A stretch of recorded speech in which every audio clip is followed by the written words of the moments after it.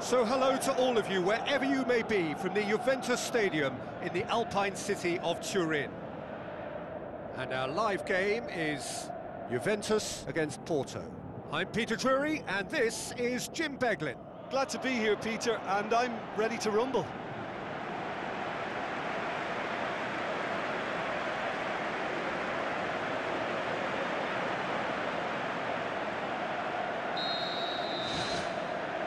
So it's down to business here. Who do you think this turns on, Jim? Um, Pepe may well need to be at his best. There's a power about his game, thanks to very decent pace for a big man, and he doesn't lose out much in the air either. He could prove to be a very reliable presence here. Yeah, I must agree, uh, especially in view of his ability to lead and organise the defence.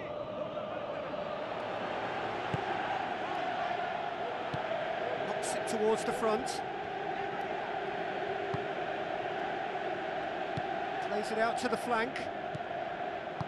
Looks like a good ball through. Now here's the through ball. Oh, good interception.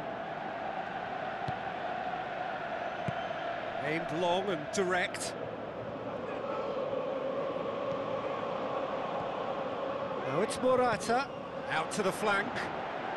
He's come through and he's had a quick look inside. Looking to shoot!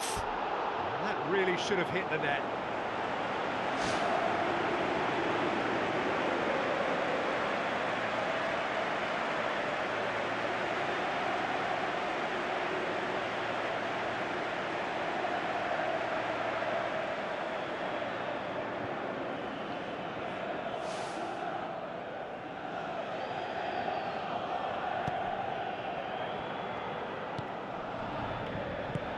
Played out to the right.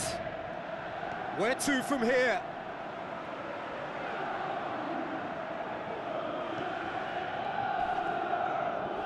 That a foul? Yes, the uh, referee's given it. Oh, that's a booking, always looked it. Well, he stayed down and is in very obvious discomfort here.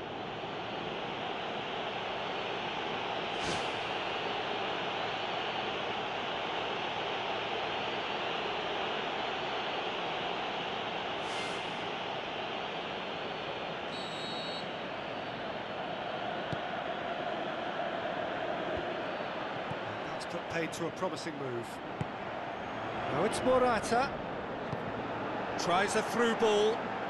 Cristiano Ronaldo! And the ball's come out.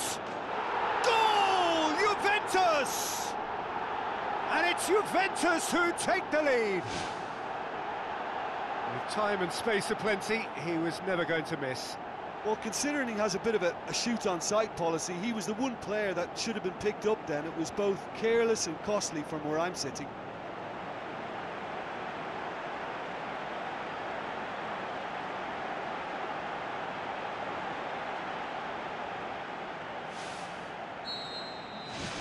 Deadlock broken, it's 1-0. Listen, when it comes to goals, Peter, in this team, he's always the number one contender, and he's done it again. Gets it upfield. Good idea, just poorly executed. And it's Ramsey. Ivan Marcano sticks in a foot to win it back. Good challenge, he just stood firm. Now it's Morata. Morata goes long and forward. Oh, it's opened up nicely for him. Porto saved by a gutsy tackle. He had to get it right.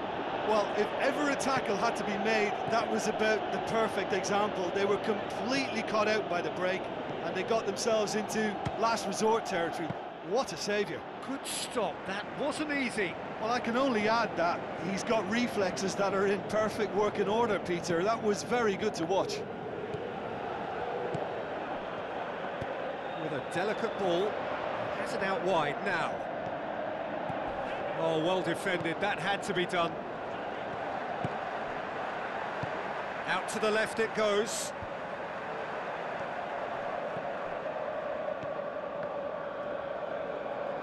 Morata plays it out to the wing.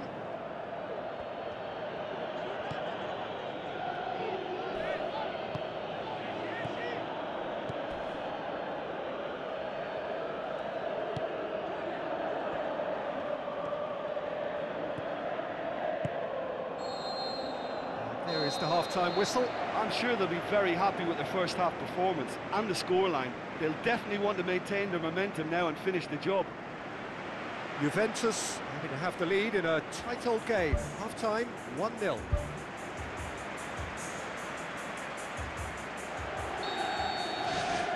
That gets things going for the second half. Juventus carry a one-goal lead into the second half.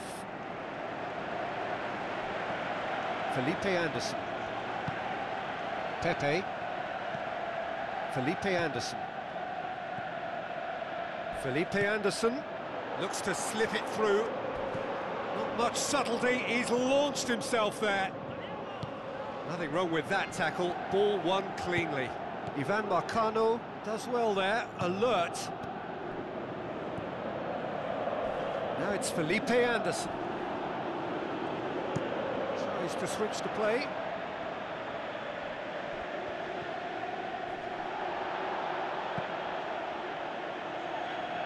Alex Sandro boots it upfield.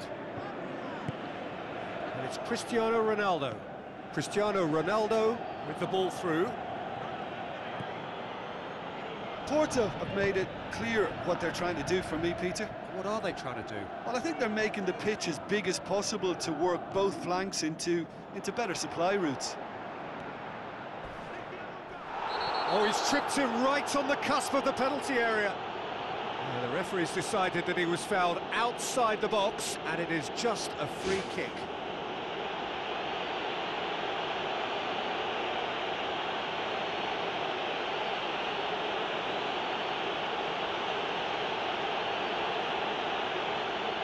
Well, the referee has made it pretty clear now that this is his last chance. Well, he knew what he was taking on there, Peter, and special delivery from the ref.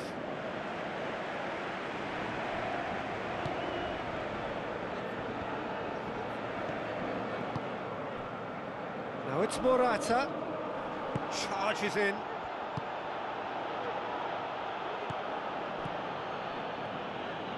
Jim, what are you thinking? There's a lot of football still to be played, Peter, so ideally they need to maintain a, an attacking endeavour. Good clearance and very necessary. Porto have decided now is the time to make their final change.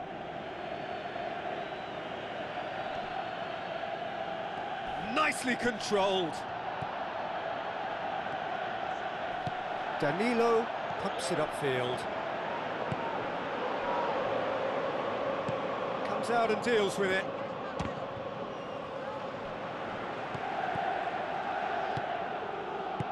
Now the pass. Porto, saved by a real stroke of luck there, it just fell kindly. Well, what can you say about that? It's difficult to know whether to criticise or, or sympathise. I'll favour the latter because we've all done it. You take your eye off the ball and everyone feels let down. Big relief, it just needed better contact. Well, he caught that one right on the meat. Cracking effort.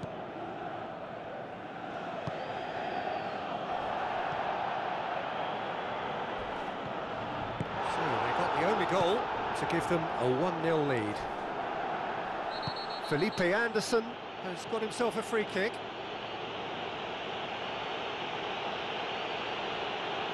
Referee has gone straight to his pocket, yes, a second yellow, and he's off. Protest continues, but in the end they are defending the indefensible. Well, there may be some scope for debate over the seriousness of the offence, but none over its repercussions. You'll have to see out the rest of the game with 10 men. Up for the header! Oh, that could cost them. I think he rushed that. He had a bit more time than he realised. He could so easily have equalised there. Real chance to break. Passes it through. Juventus need to hold on for a few more moments. Tries a through ball. It's a fabulous position. Ronaldo! Superb! Two up and threatening to pull clear. I just think he showed a lovely appreciation of where that defensive line formed and he held his run until just the right moment and he broke the offside trap and uh, he took full advantage. That's top marks for me.